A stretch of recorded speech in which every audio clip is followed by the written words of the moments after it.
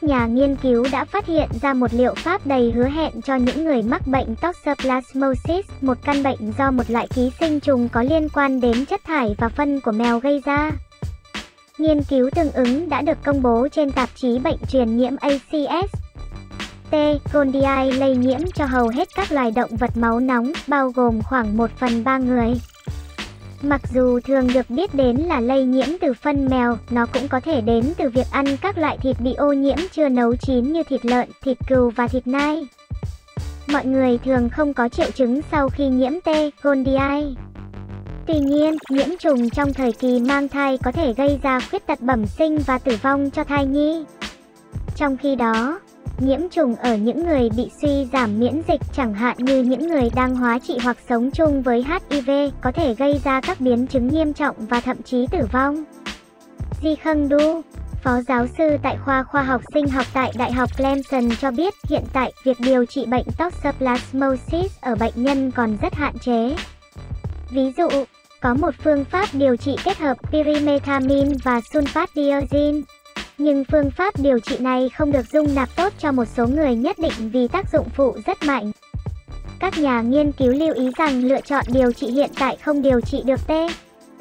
Gondii một khi nó đến não. Trong nghiên cứu hiện tại, các nhà nghiên cứu tập trung vào một loại enzyme được gọi là protoporphyrinogen oxidase PPO có trong thực vật, động vật và T. Gondii. Ở người và động vật PPO được sử dụng để sản xuất heme. Trong thực vật nó tạo ra chất diệp lục và heme. Vì PPO có quan hệ mật thiết với con người hơn thực vật. Các nhà nghiên cứu đã đưa ra giả thuyết rằng một loại thuốc diệt cỏ nhắm mục tiêu PPO có thể tiêu diệt T. gondii một cách đặc biệt mà không làm tổn hại đến mô của con người. Osadiazon là một chất ức chế sản xuất heme ở thực vật và vì vậy các nhà nghiên cứu đã thử nghiệm nó trên T. gondii. Vì nó không hiệu quả đặc biệt, các nhà nghiên cứu sau đó đã tạo ra 20 dẫn xuất của phân tử để thử nghiệm thêm. Trong các thử nghiệm trong phòng thí nghiệm, một trong các dẫn xuất này đã vượt quá 100 lần hiệu quả của phân tử Osadiazon mẹ.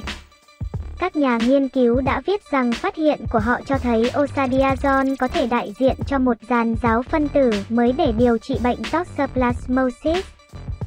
Hiện họ có kế hoạch tổng hợp thêm các dẫn xuất Osadiazon để tìm ra phương pháp điều trị hiệu quả nhất cho con người. Những thông tin chú ý khác chúng tôi sẽ cập nhật bài viết lần sau. Rất mong sự ủng hộ của các bạn, chúc các bạn vui vẻ. Xin chào, chia sẻ hữu ích nhé.